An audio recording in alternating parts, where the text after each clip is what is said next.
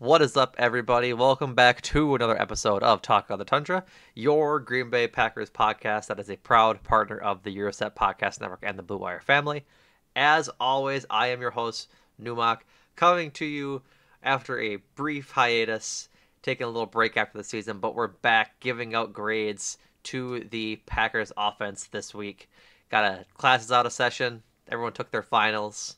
Had a uh, disappointing result on uh no no curve for the uh for the class in that final, but alas, here to grade these tests with me this is Jordan Treske. Jordan, how you doing, buddy?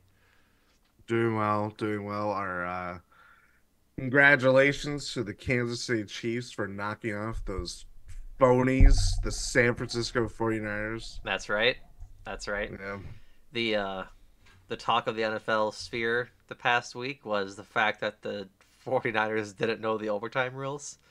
They didn't know them, and then they said they did, and then the like I know a liar when footage, I see one. Then the behind the scenes footage proved that they didn't know the know the rules, which is crazy, admittedly.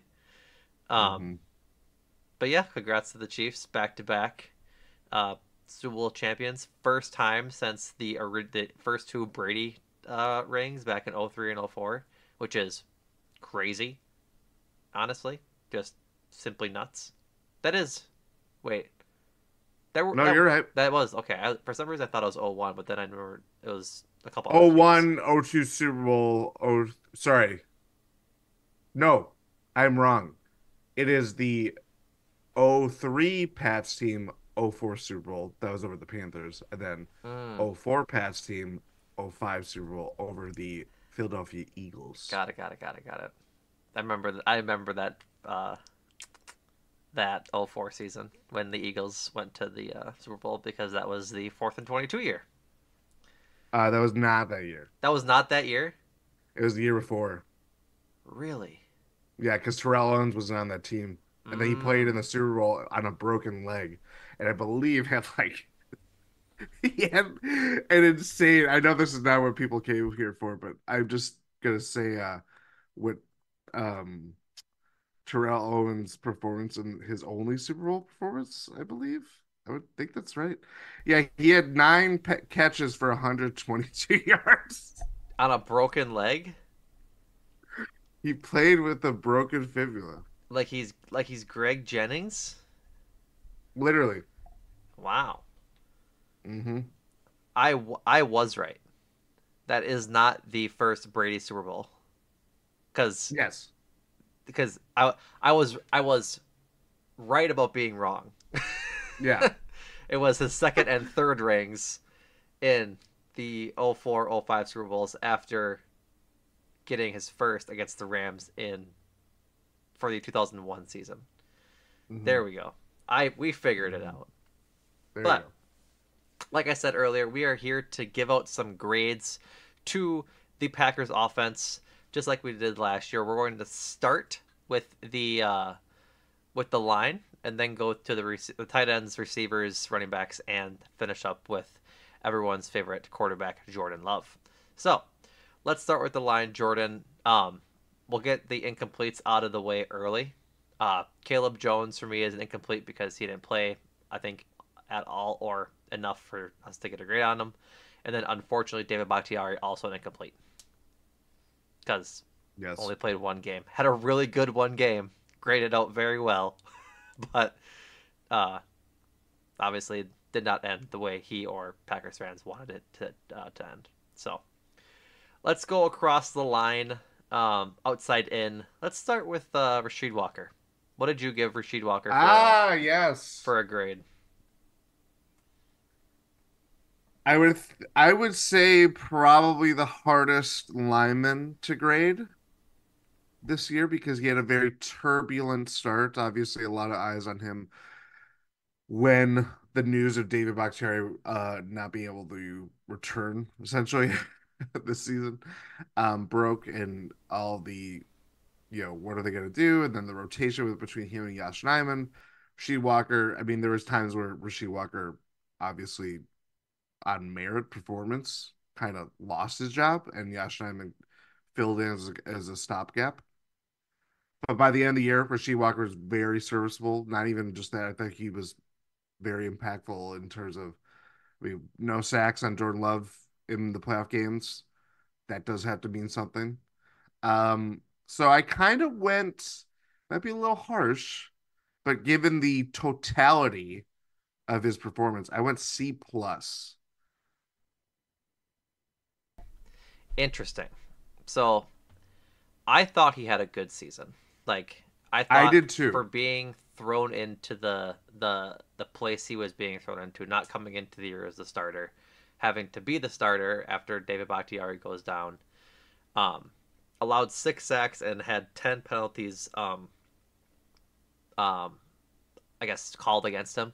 He had more penalties called against him, but I only counted the ones that were um, accepted essentially, the ones that Yeah. had negative results for for the Packers.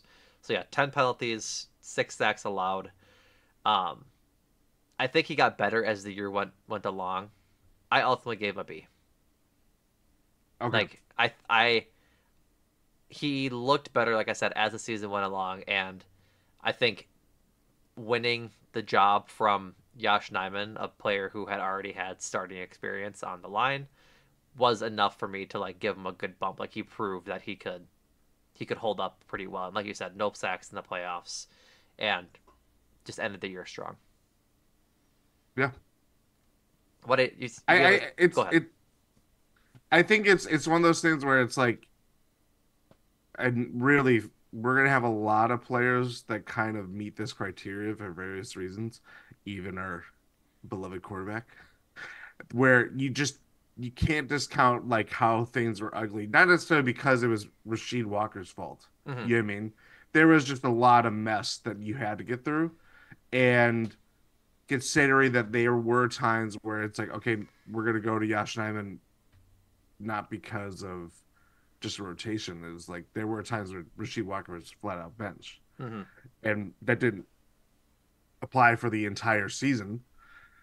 But perhaps it was a little too harsh of a grade, but I think it's it you know, you can't ignore those things. And I I feel like a lot of I could probably say this about three or four offensive players in particular, but I, I do feel like Rasheed Walker was probably one of the most improved players on this team by far.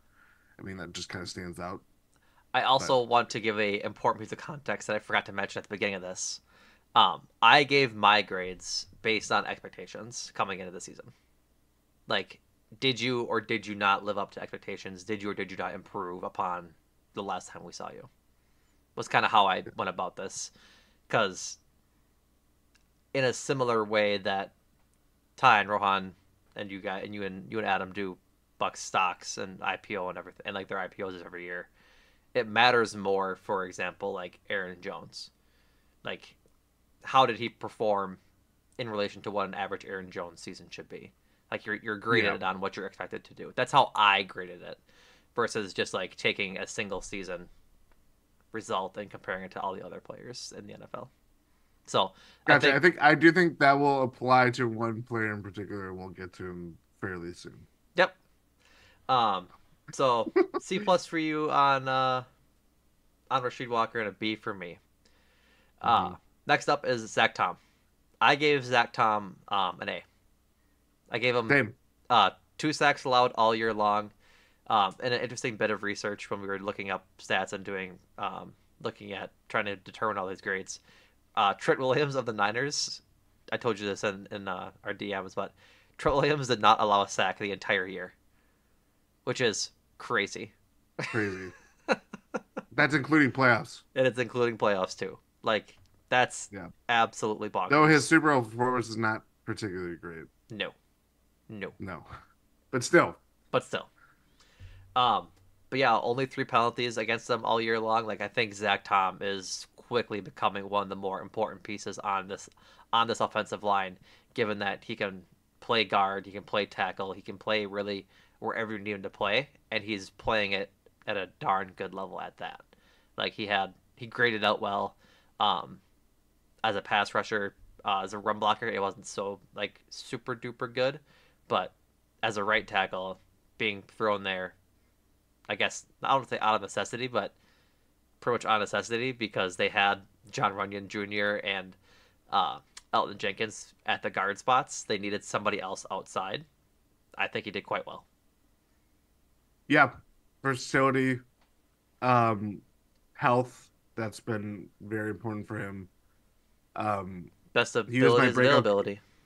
exactly. He was my breakout guy to start the year, and even I couldn't have envisioned him kind of being probably the most, easily the most stable lineman hmm on the unit. Um, yeah, I, I think he's just he's just a really good football player, and it's you're gonna get an A. That's it's, it's simple when you kind of put those two two together. Yeah, when you're uh, when you're doing things like that and you're really uh, exceeding expectations like he did, yeah, without a doubt, you're gonna be uh, doing better than anticipated and getting good grades for it. Um, I Mhm. lied. He had a very good run blocking grade. Rasheed Walker was the one that did not. Rasheed Walker had a average, mediocre, kind of borderline run blocking grade, but did quite well um, pass blocking. So there is that. Let's move inside. Um, let's start with Elton Jenkins. What did you give him? Leave A minus. I gave him an A. Uh, zero sacks allowed, had good grades from PFF across the board, and uh, five penalties um, assessed against them. So like him and him and Zach Tom to me had a very similar year, dominant year, and just I think Zach Tom, or I'm sorry, I think Elton Jenkins missed two or three games. I forget how many he missed, but he missed a good chunk of games. But um, when AJ Dillon, I think rolled up on his ankle or knee, Two and a half if Yeah. you count the Falcons. the game. Falcons one. So, yeah, I was happy with Elton Jenkins' year coming off of his injury, and uh, just pleased to see him do as well as he did, as well as just be available for almost all of the games, missing two at no fault of his own. Yeah. His highest pass blocking grade um for a full year. He had a higher grade for the injury, his first injury or his only injury year um in 2021. Um I thought that was very interesting. His run blocking grades. Honestly, Zach Tom was the, the shining star of the entire Packers offensive line t- in terms of run blocking grades per PFF hmm that kind of tracks given how the Packers run offense most of the year outside of Aaron Jones Yeah. becoming Superman. So, oh no, I thought just the fact that Elton Jenkins, again, this is, he's an all pro level offensive lineman. Yeah. And I thought, to your point, I thought him and Zach Tom really stabilized an offensive line that had some shaky moments more so earlier in the year as things were, you know, trying to get stabilized and figured out. Yep. Um, I realized we forgot a tackle. I, I moved inside too quickly to to talk about Ellen Jenkins. We forgot Yosh Nijman. We didn't give Mm. him grades. Uh I gave Yosh Nijman either a C minus or a D plus. I was torn on what I wanted to give him, but I You're doing think gladiator with him. yeah, Yeah. I I think I'm I think I'm D plus. Yeah. Yeah. I Um, did C minus for what it's worth. two sacks allowed in just un or just over 100 pass blocking snaps. That's not good. Uh, two two penalties and 13 pressures allowed. Like I said, in those just over 100 pass blocking uh, snaps. Like you had said, Rasheed Walker was pulled at times in favor of Yosh Nijman, but I remember plenty of times during the season where I just saw Yosh Nijman get absolutely blown up and it hurt a play. Like I Yosh Nijman's one of the ones where the eye test kind of was enough for me to give him a grade. I didn't really need to do a deep dive on his on his season to really understand that hey, not the best season from Yosh. Probably won't be back next year. Like I I think I- it yeah, I don't I don't, don't think, think there's so. any any sort of chance he's back next year. I mean, at this point, they'll get a compensatory pick for him. Do they? Yeah, because the they signed him for this year as an exclusive, or the um. should Probably not be saying this live on a podcast because I need to be a professional Packers pod. Um, Um, it's the it's what they did with Lazard. Oh, okay. Exclusive free agent, whatever Yeah. acronym it is. Yeah. Yeah. And what they'll do with Emmanuel Wilson probably too. Boo. Not that I'm I'm just saying in the sense that like Yeah. boo. I'm just saying in the sense that they'll be because they signed him to that contract last year, and it was only or they tendered him that contract last year. It was only a you know a one year deal, and most likely will be out on the door because you know this didn't perform. well, and come draft time they might be getting a left tackle, so or some offensive line help. Yeah, something like that. We'll, we'll, we'll get into draft stuff pretty soon here as the combines at the end of the month. But yeah, it's going to be interesting to see how to see how that shakes out for sure. Very interesting. Uh, back inside, let's pick up with Jon Runyan Jr. I gave him a C. Two Exactly what I gave him. two sacks allowed, lackluster grades, and six penalties. He wasn't the worst lineman on like like starting lineman in my opinion, but he didn't show me anything um, of of significance to really be enthused about his performance all year long. Yeah, I always just kind of thought he was like a nice or like serviceable starter. And I still think that's the case. It's just there's no wow factor. I thought the rotation with him and Sean Rhyan by the end of the year was very interesting. I think even Sean Rhyan got some playoff snaps if memory serves correctly. Mm-hmm. Um, it's not, and I know he had this very emotional and passionate speech about like what it meant to be, be playing for the Green Bay Packers. Who he also has a lot of. If he's not a free agent, he has contractual stuff that may, you know, he may be leaving Green Bay, or it's most likely that he's leaving Green Bay. Um, yeah, I just thought he's a fine player, but there was nothing really kind of just like, you know, you see with Elton Jenkins, you see with Zach Tom, you see like that's what that's supposed to look like. And Jon Runyan Jr. can do a, a serviceable job. He can look the part, but it's not to the degree of, you know, um, all pro or Pro Bowl, uh, Pro Bowl, but whatever that means. Um, Right. Just kind of oh, a strong link on the on the offensive line. Well, I think Pro Bowl in and of itself is a is a badge of honor for linemen because it gets you recognized by fans. Like all pro is obviously important to guys too because you're getting it's getting voted on by people that know the game inside and out and is a a good value um, assessor when it comes to how well of a year you had. But I think if you're a Pro Bowl level lineman, you're getting noticed by fans for for good reason. Like that's why Yeah. the really only dominant guys make the Pro Bowl. Like that's there's a purpose for that. And so yeah, like I, I agree with you. Like he's serviceable, but as much as it is to be a wow lineman, like Jon Runyan Jr. just never really had that. Never really showcased like pancake blocks or really surprised me with how well he was run blocking or anything like that. Yeah, PFF grades here are very just like Mediocre. They're just fine. mild. Yeah, Yeah. it's fifty-seven point seven uh, run blocking grade, fifty-nine point three pass blocking grade on, or sorry, that was Yosh Nijman.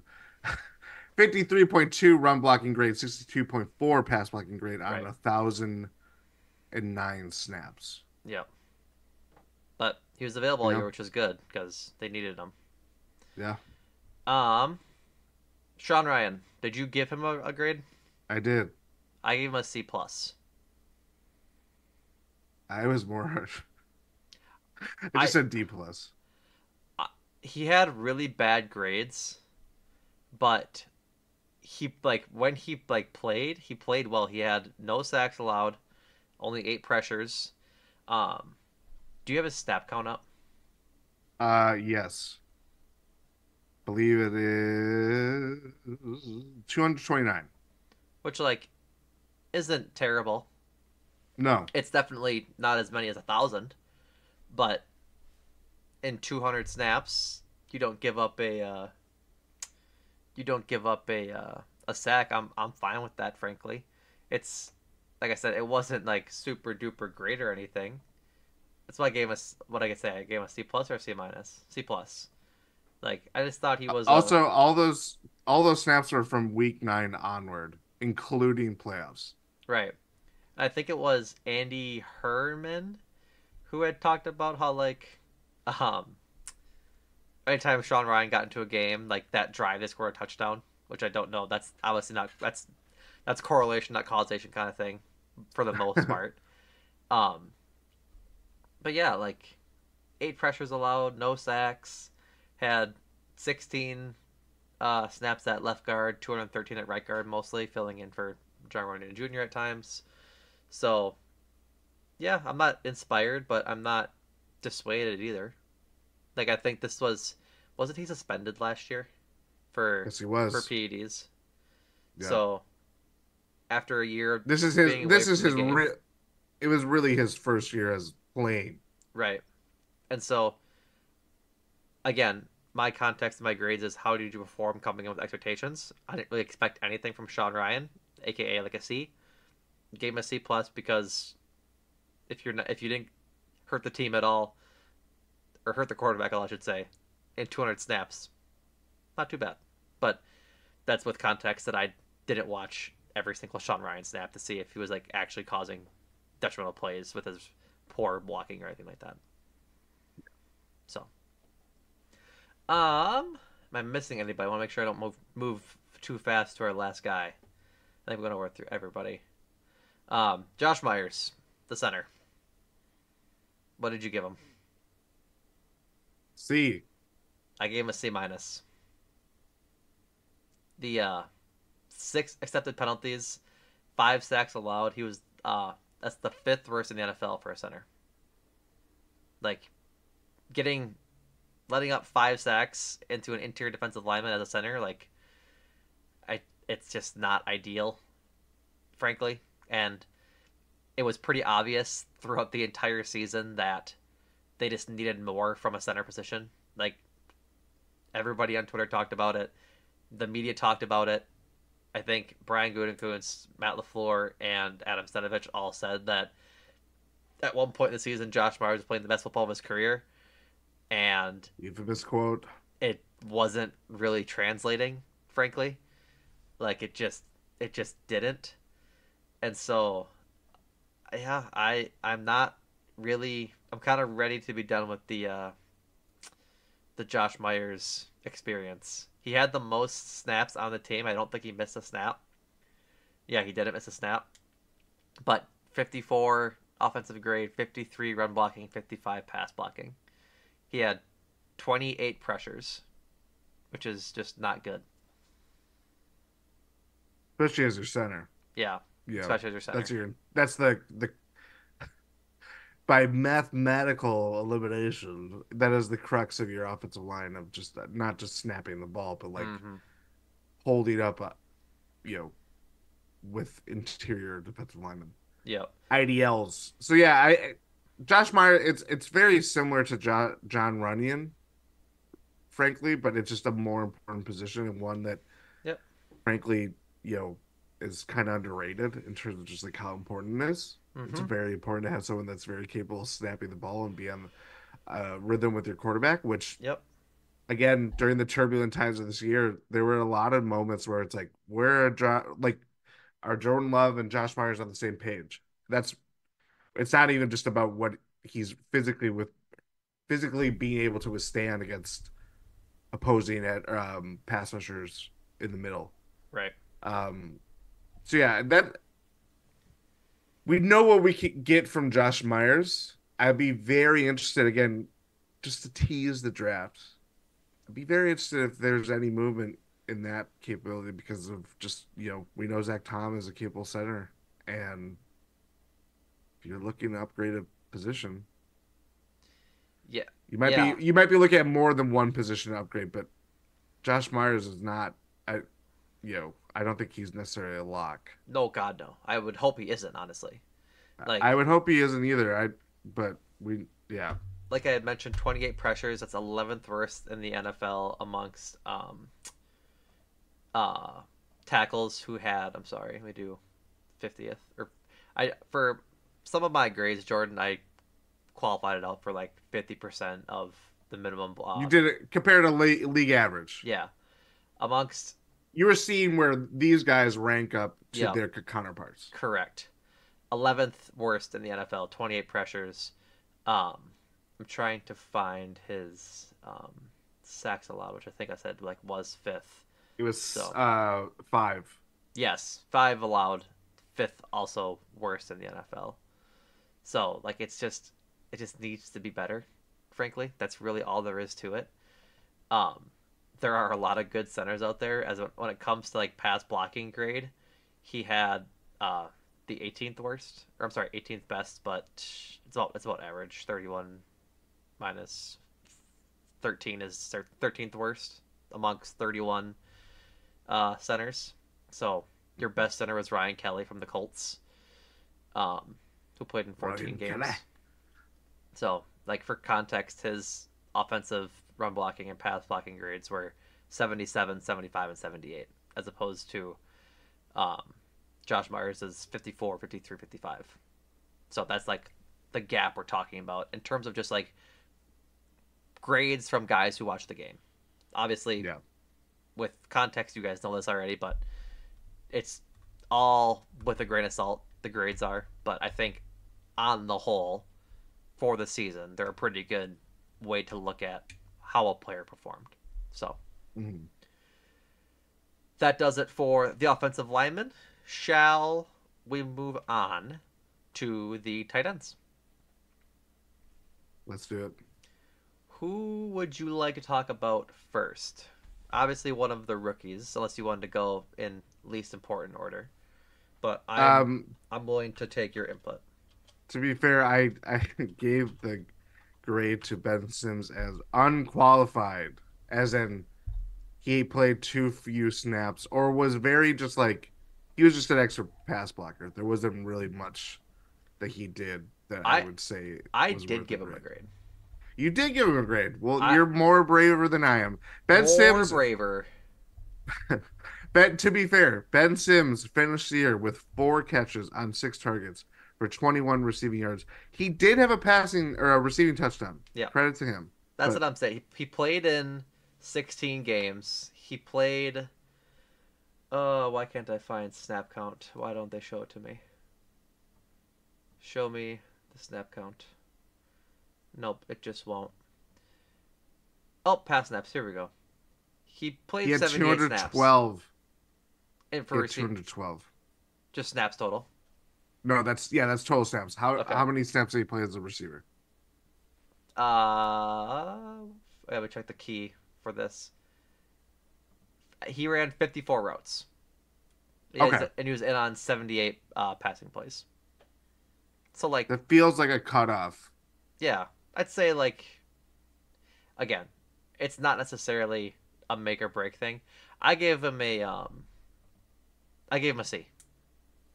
We picked him up halfway through the year, right? Or when did he, when did we pick up Ben Sims? It was at the start of the year. was at the start of the year. So, eh, I'm not really too concerned. He had five receptions on six targets, 25 total yards. Like he was mostly just like that end zone threat, like this like the short reception kind of guy. I'm not really too concerned with getting giving him a grade, honestly. Like I think he deserved a C. Nothing super, uh, nothing super inspiring, but he wasn't a detriment, honestly. Like I don't think he caused any harm to the team. I wasn't like, oh Ben Sims, you. There was one route I remember very specifically that either Luke Musgrave, I think it was early in the year. I want to say it was the Raiders game because I that was when I was probably my most frustrated with this Packers team. It was during the Raiders game where they took Luke Musgrave out and they ran a route for the tight end on a third critical third down play. And Ben Sims, he tried. I'm not going to blame him for trying but he ran the route and the ball was a little overthrown but catchable, I would say. And Ben Sims could not do anything with it. And I thought that was not necessarily a choice of Ben Sims. I thought it was a bad choice to be, hey, we're going to rotate personnel out. Let's get the guy that, you know, is kind of more of our big blocker guy instead of our dynamic tight end that we have been using a lot of the offense. And, you know, For what it's worth, we he doesn't have a drop registered on the season. Yeah, I, I, again, I think it was more. and he had the second best pass blocking grade on team for tight end. He was a very good pass blocker. Very Yeah, good pass blocker. He he had hundred and fifty two pass blocking snaps, eighteen pass blocking. I'm sorry, he had 152 blocking snaps, 18 pass blocking, 134 run blocking. Ben Sims eats religiously at IHOP. He he's ser- he's serving out pancakes. Okay. God. I get it. I get it. I understand. I just thought that there wasn't much there. yeah outside of the no that blocking. that's that's fine. Like I said, I th- I thought he played well enough to to warrant uh, a grade. So that was just that was just my take on it, Jordan. That's all. Uh, Josiah DeGuara. I did not agree. I gave him a D. I gave him a D. yeah. For the for this this the reason of expectations, right?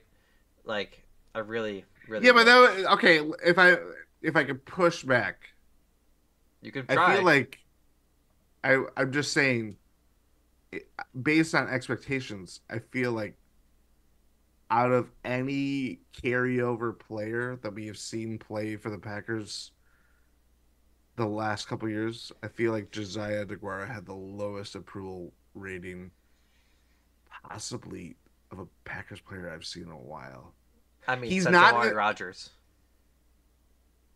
See, but the thing though is like he's not as like impactful as that because it's just I mean, you might it's a special teamers, but it's important to hold on to the ball when you're trying to start the offense, which Amari Rogers simply could not do. But Josiah DeGuara was like this small cog in a huge kind of machine. And anytime you saw him, like there would be moments that he you know he plays with some intensity, but there but there would be moments where you're just like, What the hell are you doing, man? Right. So that's why I'm just saying if you're if you're basing off expectations, I feel like what expectations were there to base off? Well, he That's was he- for for my expectations idea. He was the veteran tight end coming into the group, like coming into the season, right? That's was was there an opportunity for him to carve out a role with two rookie tight ends um, on the team? There Yeah. might have been. There, I think there was ample opportunity for him to prove himself in camp that he could be the guy. Not I'm not the guy, but start over two rookies, right? And when Luke Musgrave goes down, we saw a whole lot more Tucker Kraft and not a whole lot more Josiah DeGuara. Like No. that was kind of the idea is that they never really trusted him enough to give him an opportunity. Like it went from Luke Musgrave is the starter, Tucker Kraft is like the blocker tight end, and then mix in Ben Sims here and there a little bit. It Josiah DeGuara was never in the mix to be a solid part of this offense. And no. I think it says a lot about his ability and about like just his I don't want to say his ability is too all encompassing.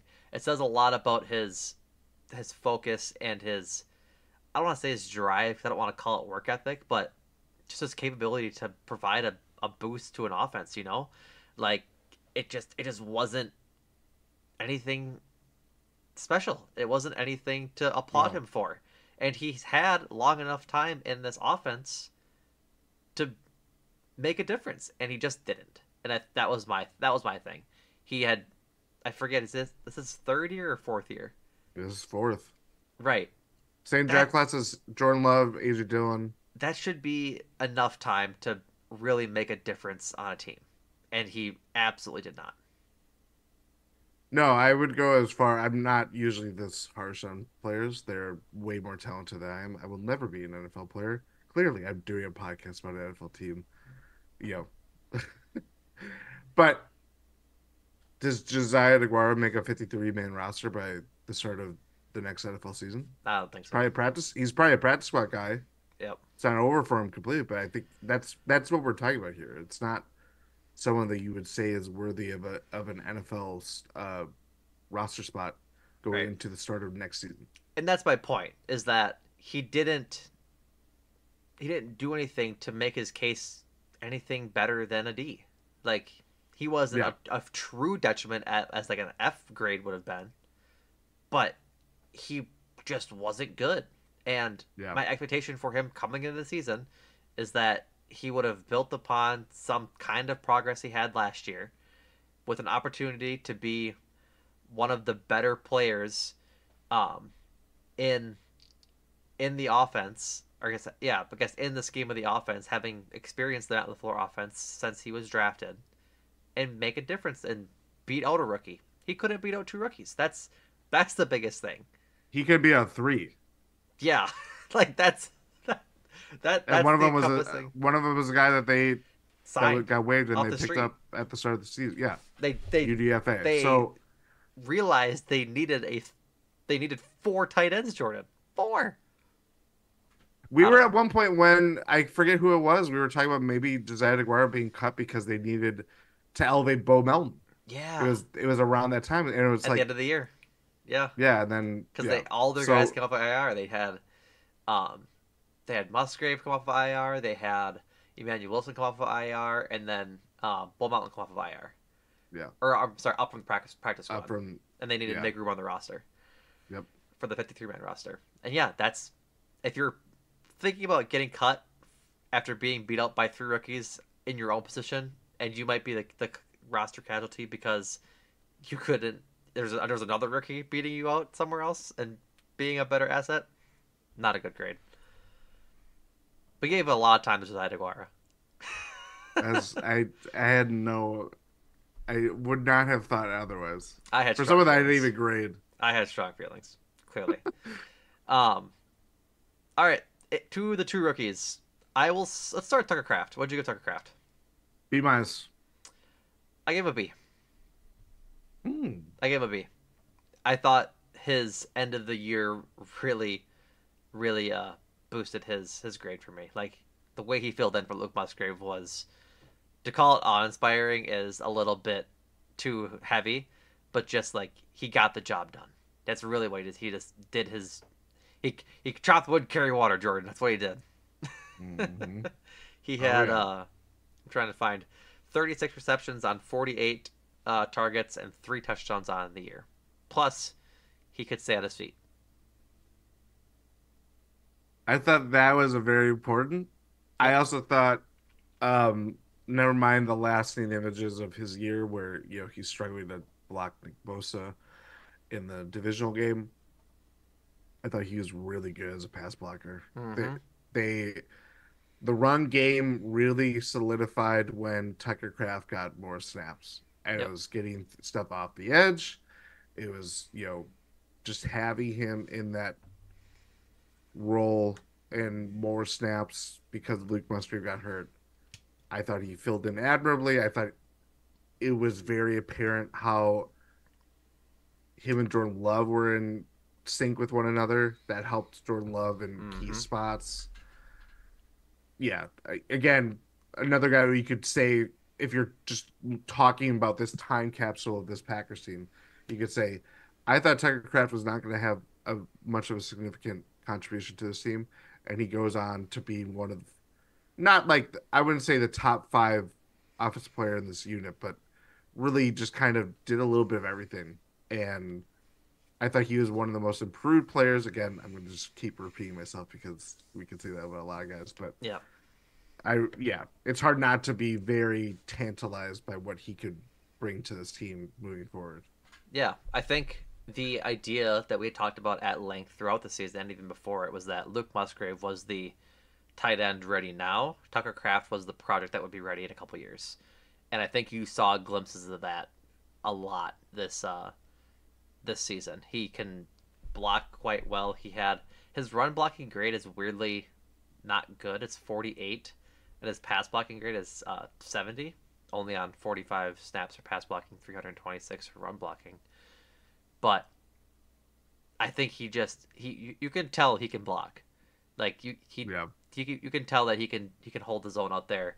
And once he gets stronger and is in a weight room for more than a year, like he is going to get better. And Mhm. I think you can really tell his his receiving has potential. Like I'd mentioned, he had um, 379 yards on 36 catches, three touchdowns, but he just he had a lot of uh a lot of good receptions. His longest of the year is 43 yards. I'm I'm excited for for Tucker Kraft. I think going forward, the two tight end sets that the Packers are going to roll out are probably going to be um, pretty good. So, I would say so. Luke Musgrave, last tight end. What'd you give him? I went C plus. I was mulling either incomplete or a B minus, which was which is which sounds weird. I know. He played in thirteen. I was just saying those are very those are two very different grades. He played in he played in thirteen games. Um, had forty catches on fifty two targets, two touchdowns for four hundred and eighteen yards. I think I'll just lean giving him a C or a, a B minus. But I, or I'm sorry, what did I give him? Yeah, B minus. Yeah, you said B minus. I think he showed flashes, but was inconsistent. Does that make sense? Like, I think Tucker Kraft had a better year while being, I guess, more polished. It almost looked like what we had thought was going to happen this season with Musgrave being the ready now tight end and Tucker Kraft being the project. By the end of the year, I think those roles flip flopped. Like I think we saw oh. Tucker Kraft be the more polished tight end who's capable of catching balls and is a capable blocker, as opposed to Luke Musgrave who looks like Bambi running sometimes. Uh had some trouble running not running routes, but like I said, just staying on his feet. Is wasn't the best blocker and just looked a little more raw than than Tucker Kraft did.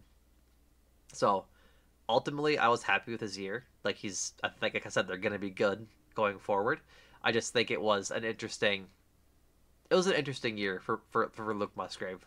A lot of I don't want to say a lot of ups and downs, but it was like steps towards progress interrupted by plateaus of um, of ability, which might not make sense, but I guess I'll rephrase that. Steps towards progress with extended periods of, of a plateau.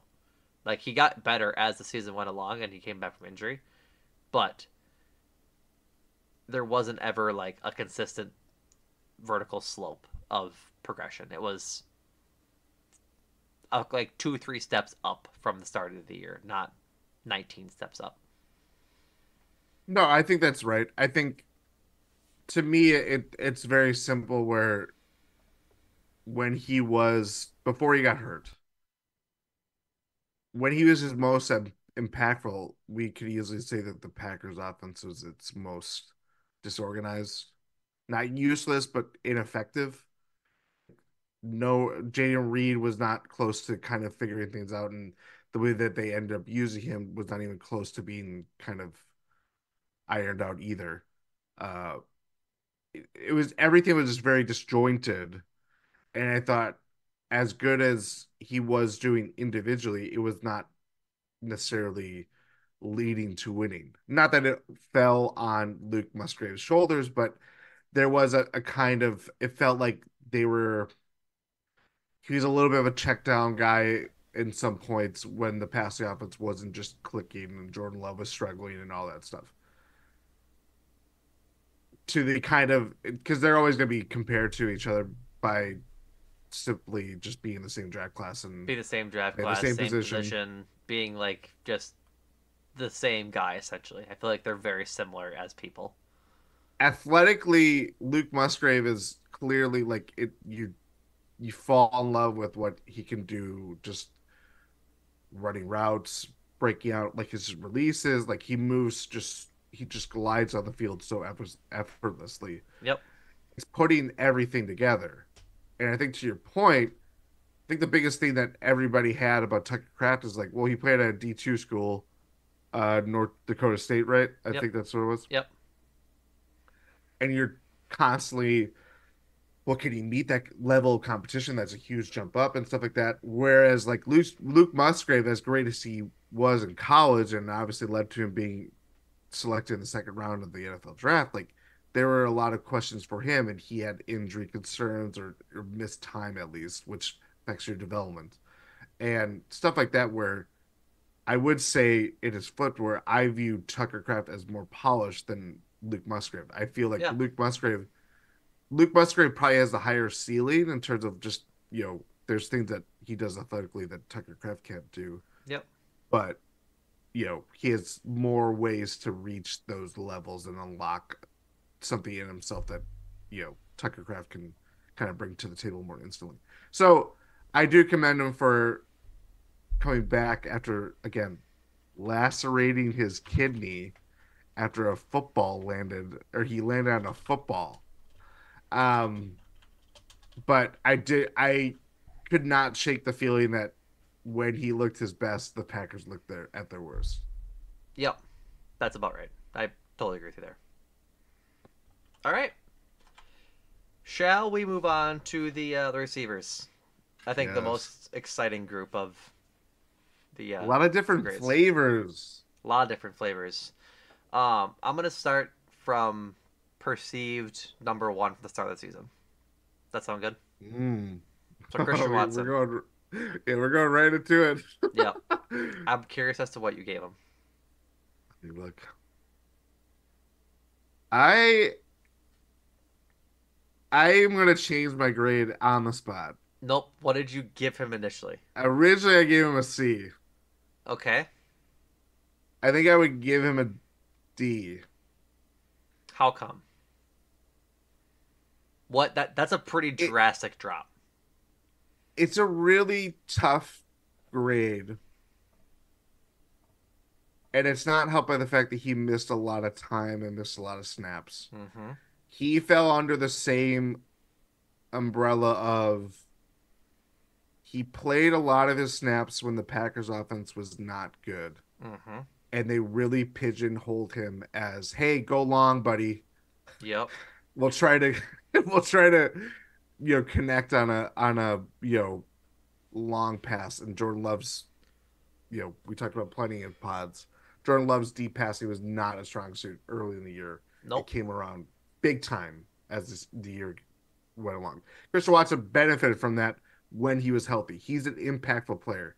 It sucks that his year went the way it did because I was so looking forward to seeing how you'd you know connect with Jordan Love um, as the two were kind of you know finally playing together.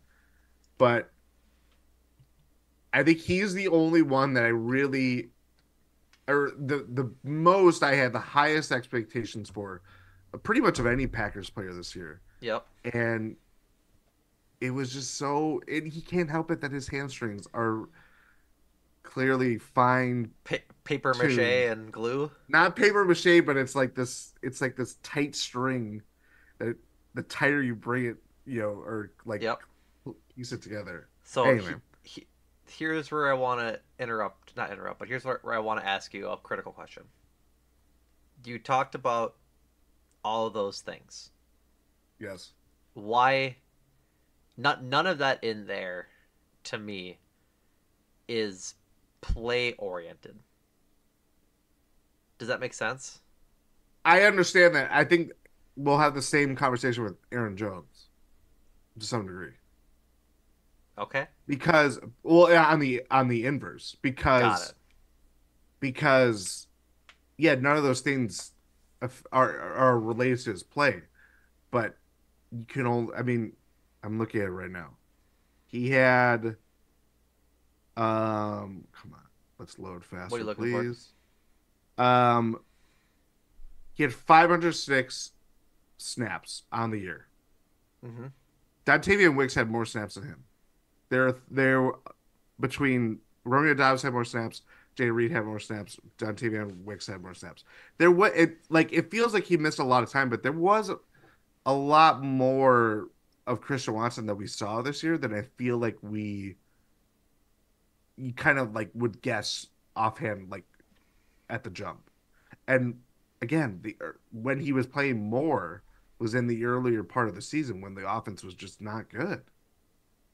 So that's where I would say play wise as you can roll out the, the his numbers, individual numbers that really improved as the season went along. But I you know, the weeks of just hey, we're gonna throw it long to Chris Watson and See, if but I don't, right. I just don't think that's his fault though. I don't think that's his fault, but it's ultimately what the final product was. Right. You know I mean? I I think D is pretty harsh. Like he still had five touchdowns, thirty catches. I know that's what's crazy. See, like, but like that's, in- that's the thing. Is like he also had six interceptions when thrown to him, which I know that you and I had at length discussion about, like that Christian Watson wasn't going up and like getting balls, right? Like he wasn't fighting Yes. through a ball. A, a few of those, I'd say probably four of those six were underthrown balls from Jordan Love going deep. So not Again, I can remember that Raiders one. Yep. And the end of the one at the end of the the uh, Steelers game. That one wasn't Christian Watson's fault. Yep. And so I here here's my, my my thought process for Christian Watson. I gave him Yes. either a C or an incomplete because I felt like we just didn't see enough to really properly grade Christian Watson this year. Because he just was injured so much. I know he played in 11 games, but Five What- or six snaps though. I know, but what what to me what is more important than that is is targets. He was pretty True. pretty poor in targets. Only Bo Melton, uh, Malik Heath, and Samori Toure. Do you Had can, fewer can targets for- sorry So amongst sorry I'm go ahead. I'm being very rude as you're making a point. Can you guess how many snaps Christian Watson had as a rookie? Total a snaps. rookie, He had how many this season? He had 506 this year. Um, snaps or tar? S- Simple Uh, snaps. Seven fifty. He had 507 snaps. Of course he did. So he essentially had as many snaps As as, he a rookie and a sophomore. Right. And did do you have his stats from last year up? I can bring them up right now. So comparatively to to last year, when he still had hamstring injuries, he was still fighting through as the number one guy, trying to be at least. Yes. 30 catches and five touchdowns and 442 yards this year. What did he have last year? 41 catches on 66 targets, 611 receiving yards, seven touchdowns. So 200 more yards, two more touchdowns on six more catches ish, right? So I, I just think against expectations, I gave him a C because I don't think it was fair to give him a, a good grade or a bad grade because of just how mal- maligned he was by injuries this year. Like it, it really was bad. Like Yeah. when he catches the ball out in space and then uh comes up lame because he hurt his hamstring like it, it it's just tough like it was a tough year for christian watson and i really didn't want to be harsh on him because not that it matters one way or the other but i just think that it wasn't his play that earned him the stats that he was missing and what we expected from this year like if he had played a full year and had bad stats, we'd give him a bad grade.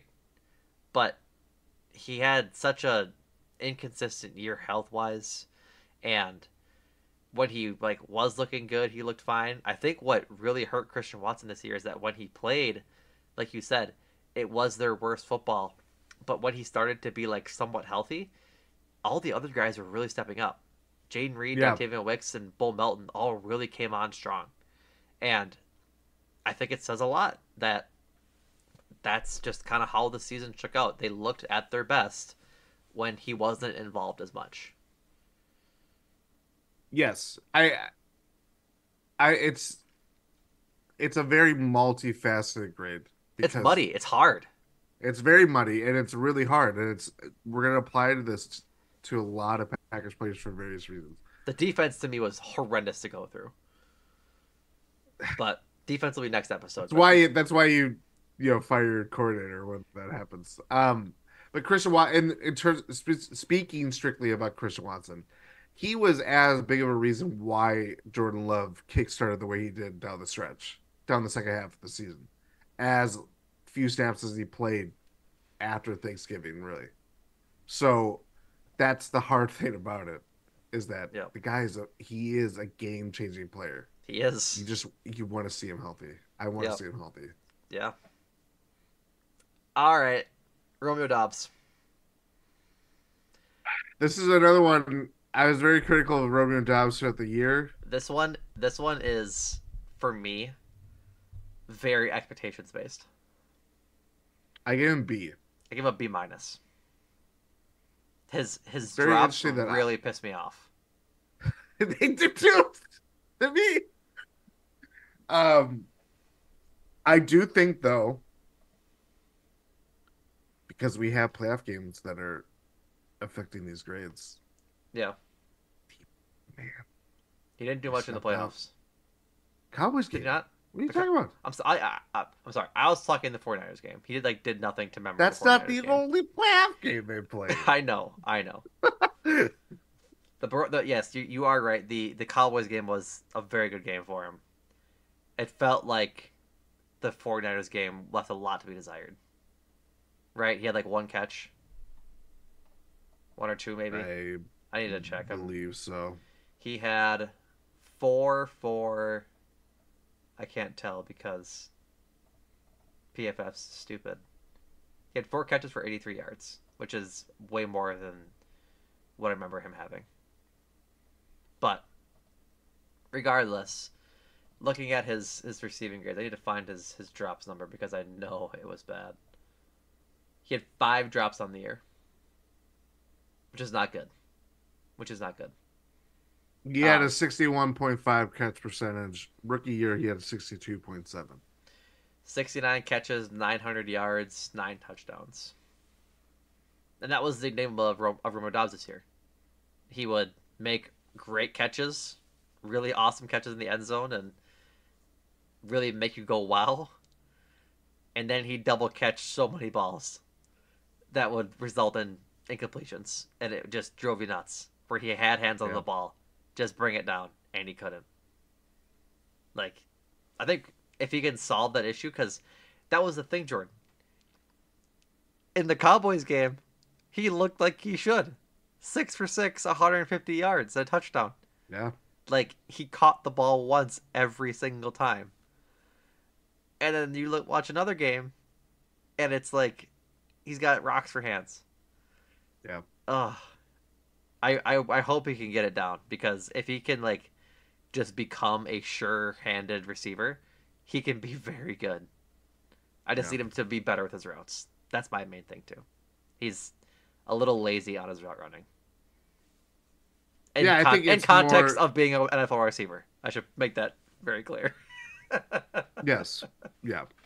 But it's it's more of like you want to see, you want to just see him put everything together because he Yeah. does have good hands for stretches. He does have great route route running ability. He has the ability to. I mean, he was a favorite red zone target for Jordan Love. Mhm. There's a lot of things I like about Romeo Doubs. In like, if you look at it individually, it's just putting it all together. It's very reminiscent of the entire team. So he started the year, two touchdowns, uh, 26 yards against the Bears, uh, 30 yards on two catches from against the, the Falcons, 73 yards and a touchdown um, against the Saints, 95 yards against the Lions, no drops. Then against the Raiders, the Broncos, and the Vikings, he goes 4 30 18 with two touchdowns mixed in there, one in each, one in the uh, Denver game, one in the Minnesota game, and he had a drop in each one, all the way through the, yeah, the Minnesota game, and then you pick it back up with the um, with the the Rams game. 36, 31, 53 touchdowns against Pittsburgh and the Chargers. No drops there.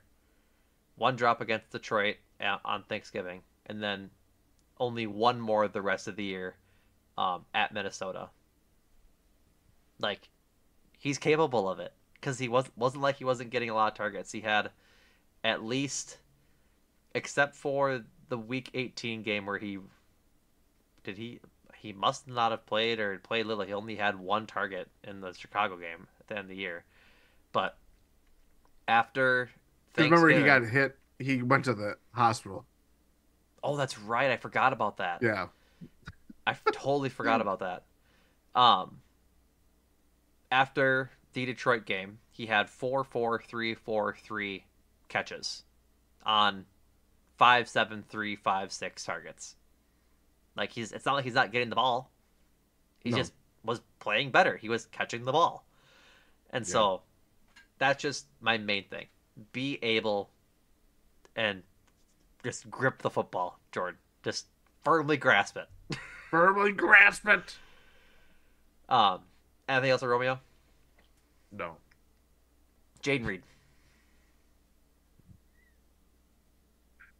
I gave him an A, A. mi- A minus. I gave him an A. Like, we did not even come close to expecting this year out of Jayden Reed. I'd hoped he'd be a, a slot guy of the future. I did not see 820 yards, 830 yards on 68 catches on 97 targets for him and eight touchdowns. I think he has a couple of more rushing touchdowns as well that I'm not seeing at the moment, but let's see if I can pull Nine those to twelve yards from scrimmage. Thank you. Ten total touchdowns. Yeah, so two rushing touchdowns. So like that's an, an incredible year for a rookie. Like I know offensive rookie of the year was given to um, CJ Stroud, and there was a lot of good offensive rookies this year. CJ Stroud, Jordan Addison, um, Zay Flowers.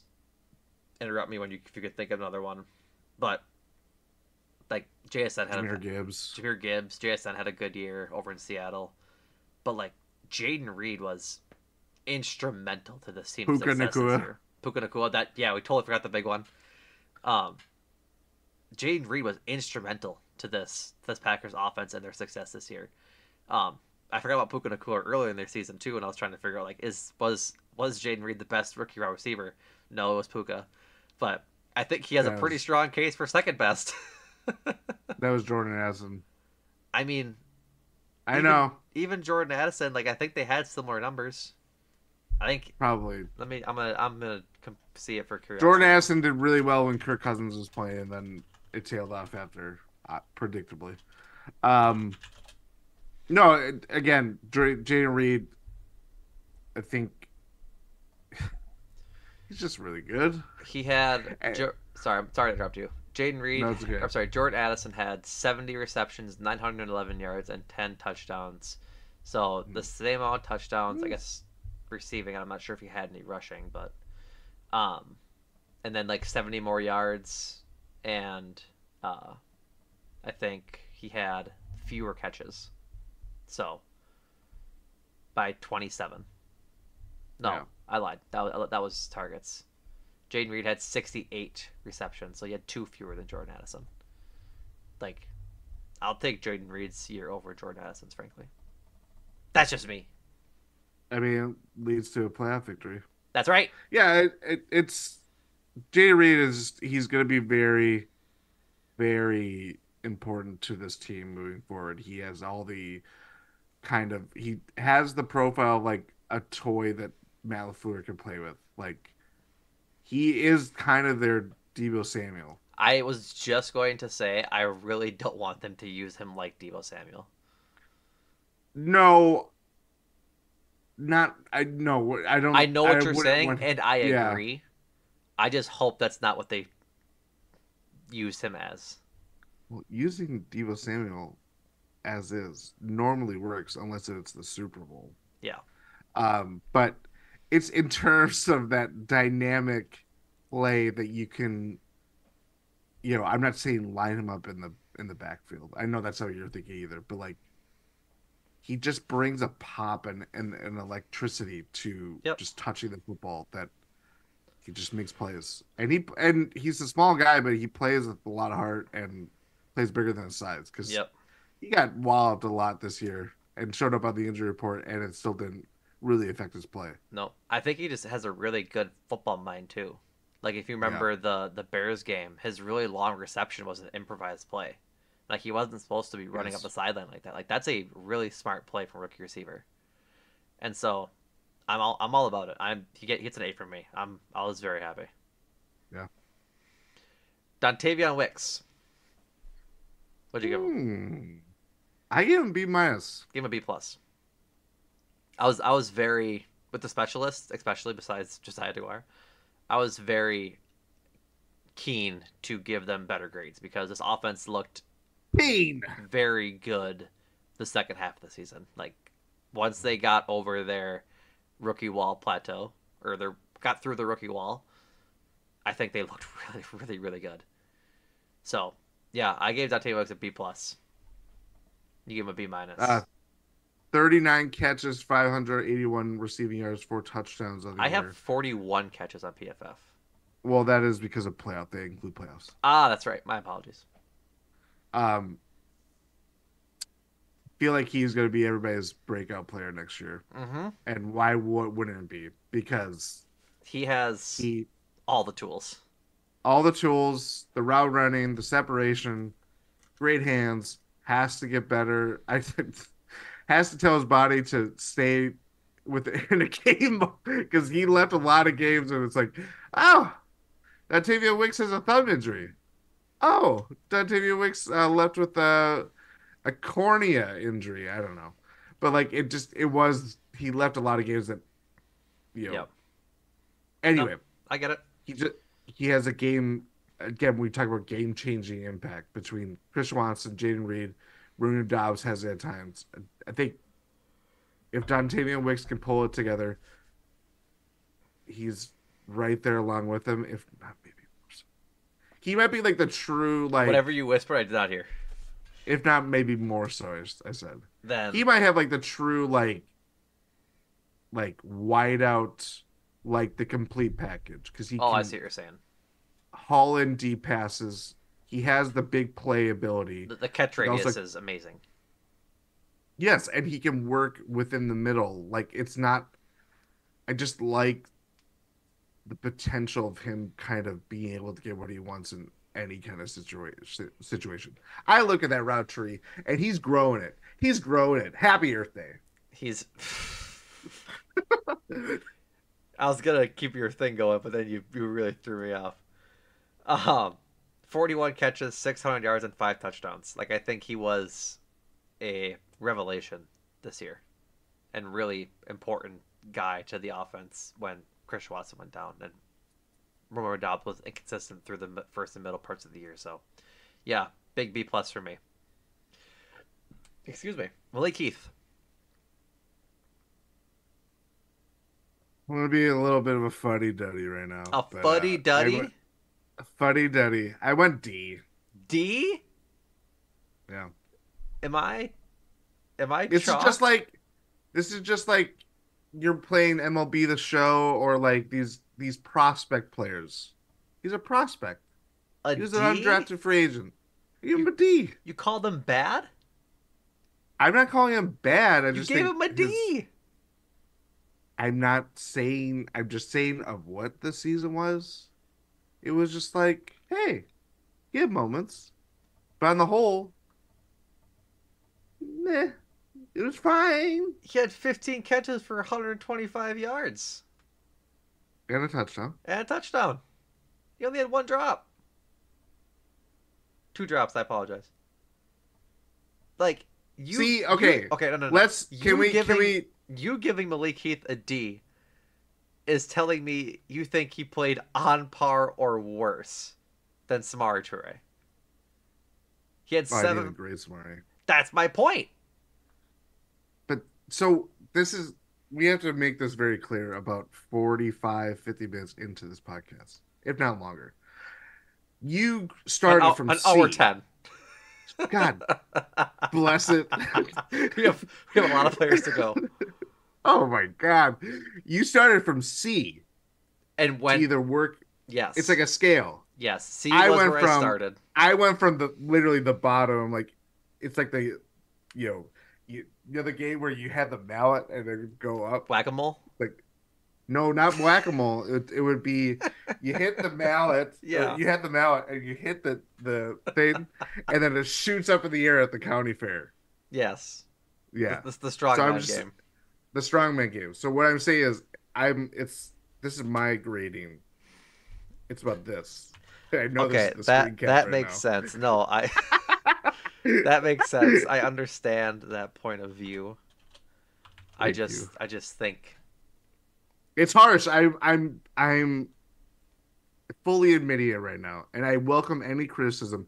I, in fact, listeners of Talk of the Tundra, they can give me a grade of my grading system, and we could, you know, welcome what people want. right.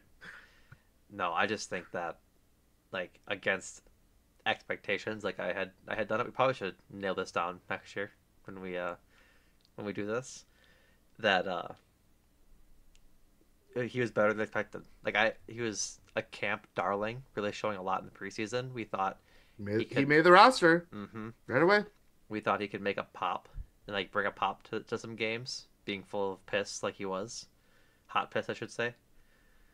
Um, but I just think that I, I, I thought he had a good year for what for what he was for being the sixth receiver on the on the roster, getting a touchdown and 125 yards out of him was pretty good. He made the most of his opportunities. So, all right, Bo Melton. See, Now see, here's where we're gonna fight. He had Again. he had three more receptions, seventy five more yards. I'm sorry, hundred and twenty five more yards. I can't do math. And one more touchdown. What did you What did you give him? see, Okay, that's fine. He didn't play the first 15 games of the year or whatever it was. Right, but you, I don't know. I have issue with your grading system. I understand that. I, I feel give- like there are going to be a lot of people that have issues with my system. I gave I gave him but a B plus. That's fine. I I can understand that. The guy went on a freaking heater. That's what I'm saying. It, it was insane. Um, But I also have to factor in that he was not on the team for a large majority of the year. and now look at him, wide receiver four next Exactly. year. Oh, you're squeezing on someone. That's right. Um, TBD on who, I guess. that's right. 18 catches, uh, 244 yards and two touchdowns. Just good year from from from, from Bo Melton, a guy who Like missed a lot of camp due to injury. Um, missed a lot of the season, I think, due to injury. So that does it for the receivers. We got three players left. Go to the running backs. Start with AJ Dillon. C plus for me. I went D plus. The stupid. It's hard. It's Go ahead. it's hard to shake the in season feeling of being very let down by just expecting A lot more. average. I was expecting a lot more when Aaron Jones went down. Was my biggest thing for this. And it's not like if you look again on the whole 170 carries, 613 rushing yards, two touchdowns. That's where it, that's not that great. I thought t- this year was actually pretty good as a passive catcher, like 22 car- uh 22 receptions on 28 targets, 223 yards. But it there's just like always he had 4.2 yards per touch. That's pretty mediocre, if not less than that. Mhm. Um, it was just it's it's really hard to shake that in season feeling of just being like, where's AJ Dillon? What is Yep. two to three yard chunk plays? You know, uh, AJ Dillon played in 15 games and had four fewer attempts than Aaron Jones and 250 fewer yards. Like he the old um saying that came through AJ Dillon's career of him getting better as the season went along was definitely true. He got better as like later the season uh the later in the season holy moly the later in the season it got he just got better but what Yeah. what was really disappointing for me what what ultimately gave him a the most negligible positive season I could is because um he just didn't show me enough when Aaron Jones when Aaron Jones was out I think if he plays like the back we really needed him to be when Aaron Jones was out, this team isn't the seventh seed. They're either winning the division or the fifth seed at, at the top of the the uh, the wild card race, yeah. which in the end doesn't really matter, but it felt pretty bad during the losing streak and when this team really needed a, a dynamic rusher and Aaron, Aaron and AJ Dillon just wasn't it. Not even dynamic. I, I think it's I think we were kind of like expecting a running back that can kind of extend drives. And we saw that in fits and starts. It was just kind of like plotting.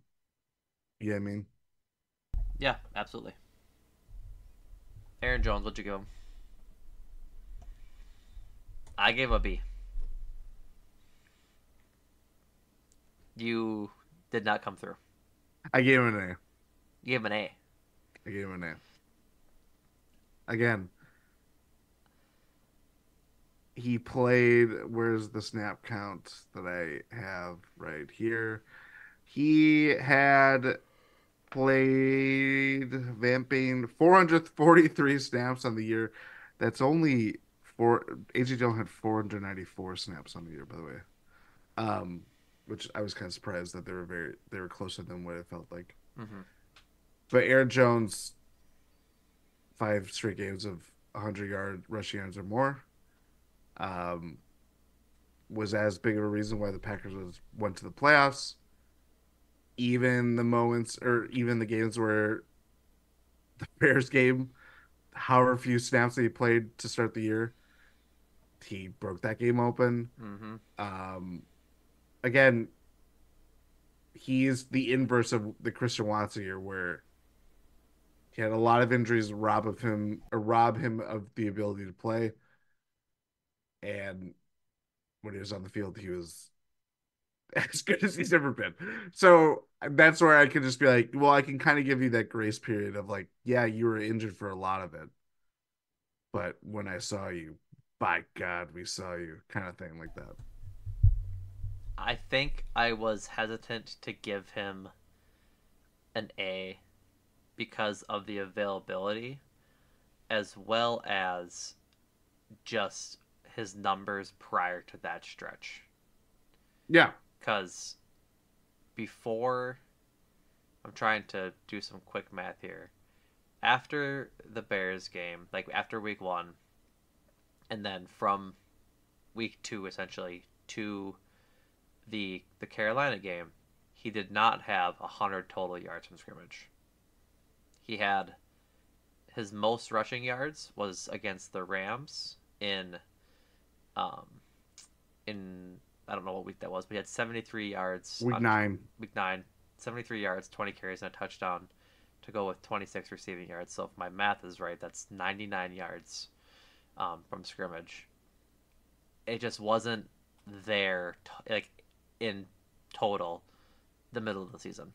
You are 100% right that he is a very large reason of why the Packers made the playoffs and had success in the playoffs the way that they did. And is the leader in the locker room without a doubt. I just, besides the, the Bears game week one, from his coming back from injury, which again, he was here and there, back and forth, coming back from his injury. Nothing to really write home about until the end of the season, and that was why like I gave him a B. I think he had a good season to end, to end the year, but to me, an A is like you need to have really wowed me, and try not to have the blindness of the last five games of the season. There's still 14 other games that he that he that he either missed or played in where 13 of them he either didn't play or was fine at best. Except for the Rams game, that was good. So say 12. Also, you spoke during that little monologue, and I did not hear you because uh, for some reason it, it, just didn't come through.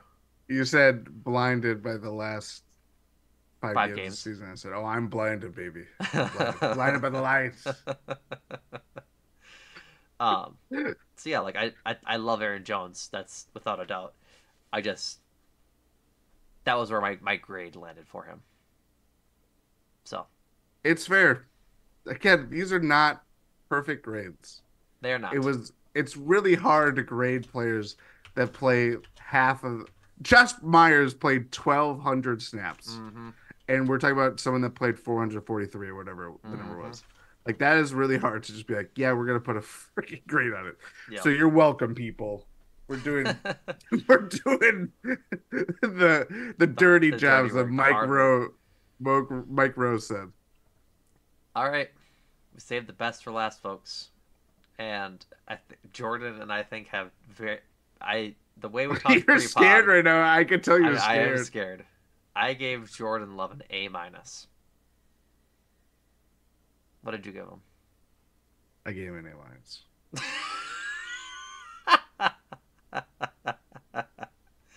um, I think. I go ahead.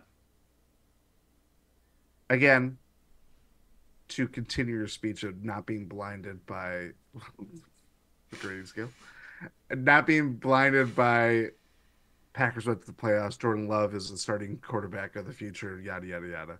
I try to view it objectively, and as high uh that the high or as high the highs were, they were low points where we're talking about they got a quarterback, right? And we thought that sincerely. We're not thinking that right now, but we thought about that probably one or two games, maybe two and a half, where just things looked really bad. But Jordan Love did really good. he's really good. So I'm really excited that he's our quarterback and the the it's it it's not even the playoff or I guess the Dallas game because the 49ers game was not as strong, obviously, because we're talking about a team that did win the Super Bowl.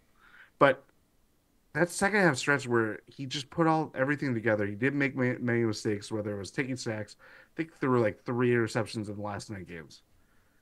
Just the it's it's exciting. So your argument, Yes. your argument for Aaron Jones was the argument I had for Jordan Love.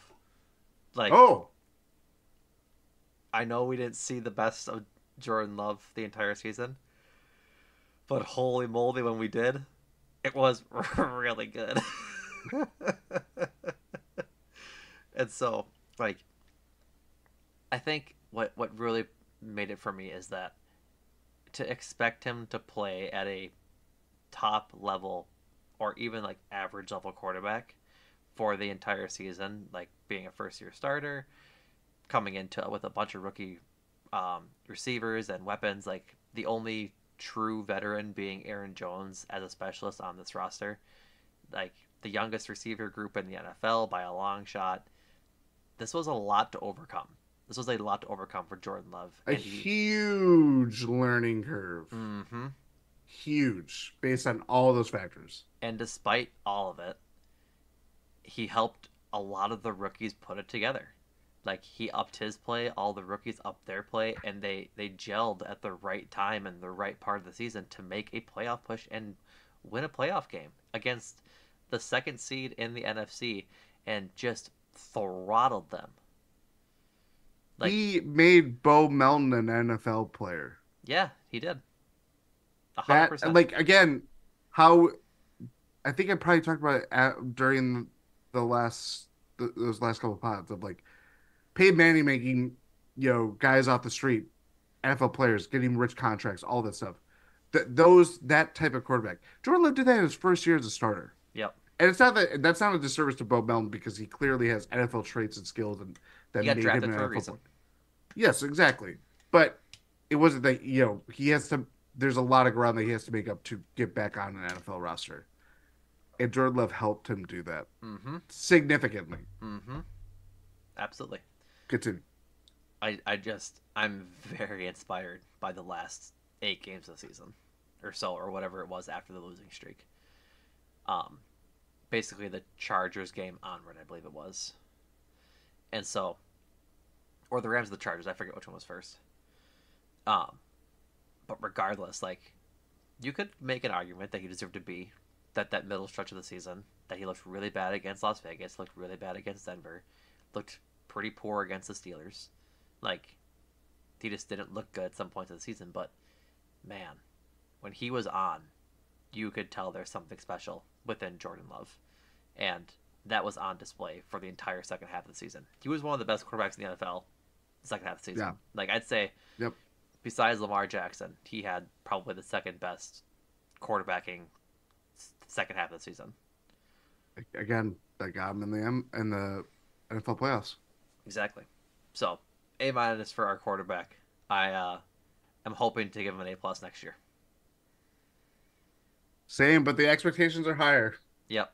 We'll It's, figure out it's a we'll lot. figure out the uh, the grading system between you and me next year, so we can figure out if we're doing the strongman competition or against expectations. Sound good? I like the diversity of it, though. I mean, we could. It doesn't really matter. It's one pod. It does. Yeah, that is true. All right, folks. Do you have anything else to say about Jordan Love, Jordan? Besides that, he's selling fresh No. on Radio Row with his Old Spice sponsorship. Yes. I just I'm excited. No no like I think there the questions change of like is he a starter? Can he it, it's not about oh can he succeed Aaron Rodgers and all that stuff. But now it's quickly begin going to become like well is he a Super Bowl winning quarterback? hmm It it changes so fast for quarterbacks it's not fun. It I feel like we just kind of talk in circles about the same quarterbacks over and over again because their team may get on a hot streak and they go to the Super Bowl the four years.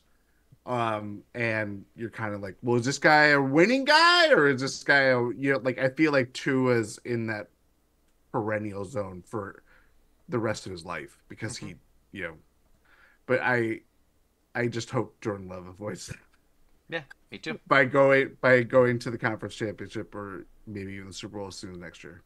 Yeah i'm right there with you. All right, folks. That does it for us. Nice little grade pod. We'll be back next week with a uh, similar pod for the defense and the special teams.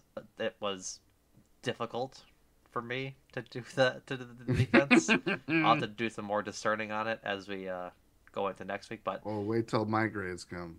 be sure to check out gspn.info for all things the Gyro Step Podcast Network. Check out uh, the Bucks Pod with Ti and Rohan, Eurostep, um, and Win in Six with Jordan and Adam. All Star break is around the corner this weekend. Um, Damian Lillard and Malik Beasley competing in a three point contest. Giannis captaining uh, the East.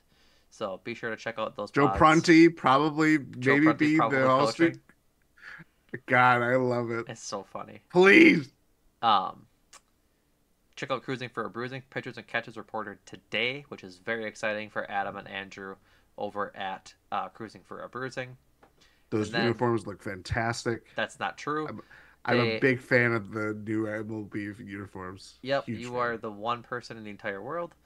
Um, I'll check out Adam and Andrew on Make Time for This as they complete their run up for um, the Oscars coming up in a few weeks, as well as um, prepare for their list for the 2024 uh, theatrical release season. So that is all we got for you this week, folks. Thanks for tuning in. Thanks for being patient during our brief hiatus, taking a breath after what was a very fun season. Like I said, we'll be back next week with defensive grades. Thank you for listening, and Jordan, thank you. Thank you.